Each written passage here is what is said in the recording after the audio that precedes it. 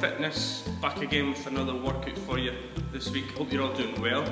Thank you very much for all the subscribers I have so far and also everyone that's viewed my videos and completed the workouts. Well done. I'll be releasing one every single Monday for you to follow along with. So the workout, this one is my double trouble workout.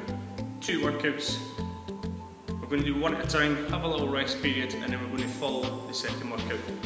They're quite short, but they're pretty intense. So have a look at the next screen, see what exercises we're up against, and I'll see you in the workout.